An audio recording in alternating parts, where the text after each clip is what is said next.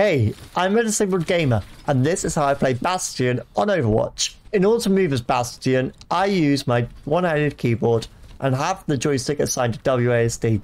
So moving forward is forward, back is back, and so on and so forth. In order to shoot as Bastion, I blow into the tube.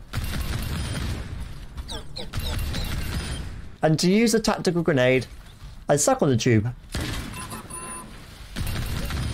Normally with better aim than that. So then to switch between the configurations of assault and recon, I push down on my one-handed keyboard joystick. And again, just blow into the tube. Finally, my ultimate is done by the voice macros. Fish.